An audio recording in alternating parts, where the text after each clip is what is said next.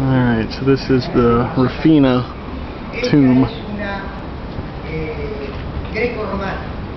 A young woman who was buried alive in the early 1900s. She had perhaps suffered a coma, and a few days after uh, being buried, workers heard screams from the tomb. Once open, there were scratches on her face and the coffin from trying to escape.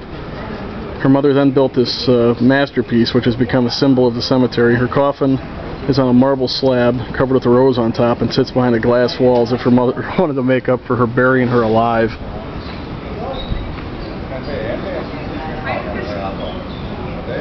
The corner of the tomb is adorned by a young girl carved of marble who turns her head to those watching her.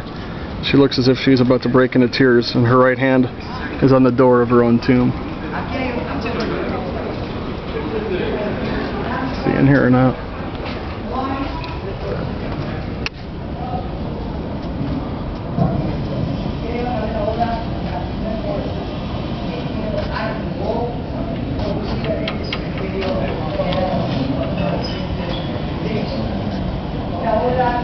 Yikes.